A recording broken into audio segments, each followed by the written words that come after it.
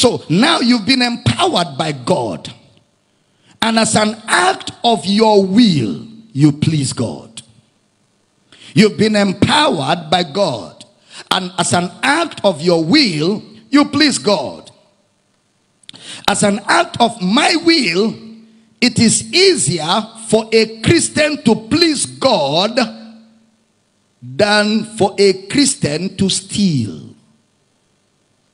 It is easier for a believer to please God as an act of your will than to steal. It takes more effort on our part to walk in sin. It takes more effort because that's not your natural habitation. It's easier to please God than to live in a sinful life. We will have to do things contrary to our nature. We will have to do things contrary to who we are.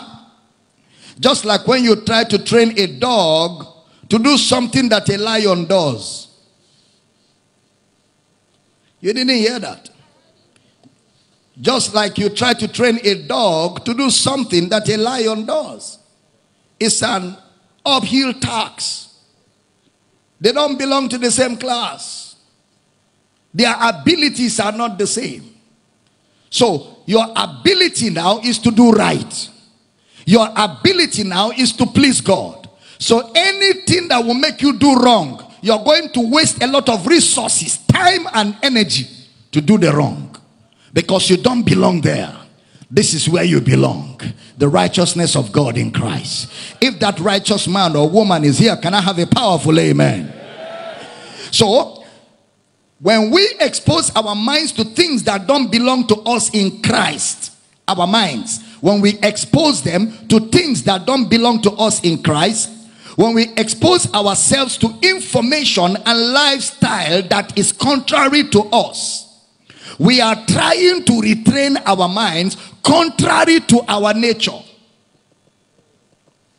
When we expose our minds to things that don't belong to us in Christ, when we expose ourselves to information and lifestyle that is not us, we are trying to retrain our minds contrary to our nature. That's why Romans chapter 12, verse 2 says, Be not conformed to this world, but be transformed by the renewing of your mind, that you may prove that which is good and acceptable and perfect will of God. The word conform is the Greek word suschematizo.